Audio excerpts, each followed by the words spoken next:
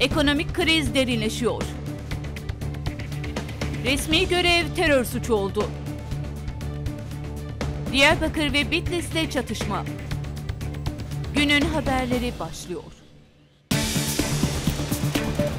Türk Silahlı Kuvvetleri ve Özgür Suriye Ordusu'nun kontrolü sağladığı Afrin şehir merkezinde bir binaya tuzaklanan el yapımı patlayıcı infilak etti.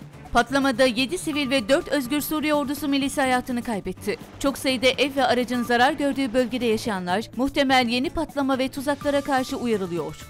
AKP Genel Başkanı ve Cumhurbaşkanı Erdoğan, operasyonların süreceği mesajını verirken İngiliz Guardian gazetesi de YPG'nin Afrin'de hala güçlerinin bulunduğunu ve bunların gerilla savaşına hazırlandığını yazdı. Gazete, Kürtlerin Afrin'den çekilmesiyle Suriye Savaşı'nda yeni bir cephenin açıldığına dikkat çekti.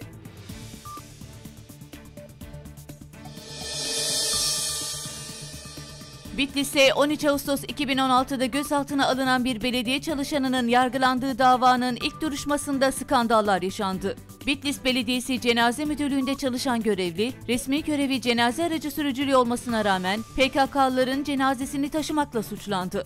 Gazeteci oğlunun haber notlarını içeren ajanda tutukluluğuna delil olarak gösterilen belediye çalışanının kriminal inceleme talebi kabul edilmedi. İddianamede ifadeleri yer alan 3 tanık da duruşmada belediye görevlisini tanımadıklarını söylerken mahkeme yine tutukluluk halinin devamına karar verdi.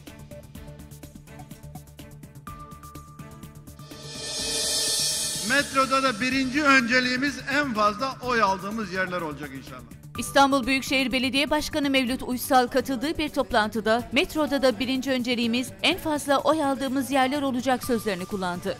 Şu anda birinci önceliğimiz metro. Metroda da birinci önceliğimiz en fazla oy aldığımız yerler olacak inşallah. Sosyal medyada büyük yankı bulan ve nasıl bir yönetme kültürünün ülkeye hakim olduğunun göstergesi olarak değerlendirilen açıklama, gözleri bir kez daha İstanbul'daki toplu ulaşım ağına çevirdi. İstanbul metrosunda halen CHP belediyesi olan Beşiktaş'ta aktarma ücretli olurken AKP'li Başakşehir'de ücretsiz olarak gerçekleştiriliyor.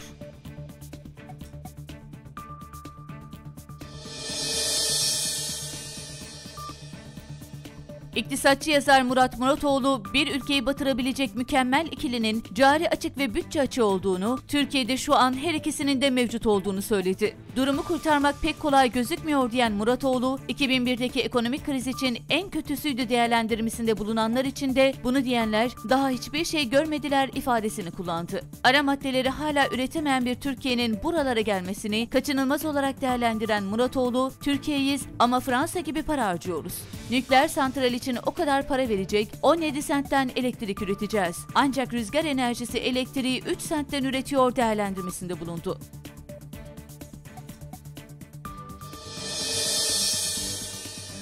Diyarbakır'ın Hani ilçesine bağlı Topçular Jandarma Karakol Komutanlığı'na gitmekte olan sivil bir araca ateş açıldı. Saldırıda araç içinde bulunan bir uzman çavuş şehit oldu. Saldırı sonrasında kaçan PKK'ların yakalanması için bölgede geniş kapsamlı operasyon başlatıldı. Bitlis'te PKK'lar tarafından odun toplayan köylülere yönelik düzenlenen saldırıda bir kişi hayatını kaybetti, dört kişi yaralandı.